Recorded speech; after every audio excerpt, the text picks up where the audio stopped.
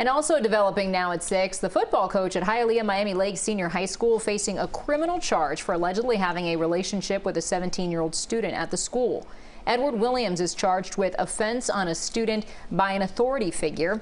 Miami-Dade Schools released a statement saying Williams had no prior disciplinary history in his more than 20-year career, but he has been terminated and will not be able to seek future work with the district. Investigators say Edwards is also a pastor and a youth minister.